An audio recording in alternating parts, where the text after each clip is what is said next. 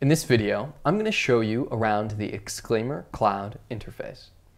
So, if I hover over any of my signature designs, I have a number of options. Number one, I can click Signature Design, and I could edit this signature, and also click New and create a new one, or save this as a different signature under a new name. But let's close out of here. The option underneath Signature Design, select Users. Here's where we would decide which users will get this signature. So I could click Add People slash Groups, add in the distribution groups or security groups or Office 365 groups I want to use, or the specific users, and even use an advanced query. Let's cancel out of here. And then we have signature rules. So a few options in here. Things like, do I want this signature to apply to emails to everyone? Or maybe only on internal emails? Or only external emails to customers, to suppliers? Or do I want this signature to not be added when some text is on the message? Maybe if I see my disclaimer is already there, I don't want to add this signature again.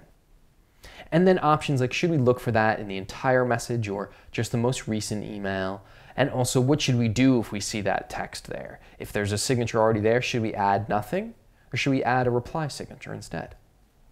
And then we also have this tab. Do we want to deploy this signature down to Outlook?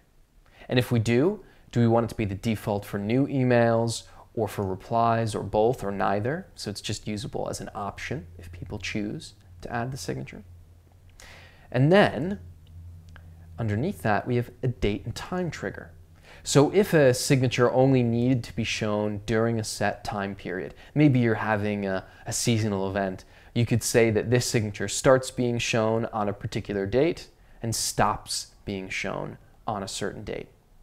And then we have, of course, the ability to rename the signature if maybe the original name isn't clear enough, or to disable or enable the signature. Maybe you want to just switch it off for the time being. And then options like copying the signature. So if I need to make a copy or if I need to move it to another folder, if you're using our folders feature, or even if I need to delete it, if it's not right after all, and I need to maybe start again.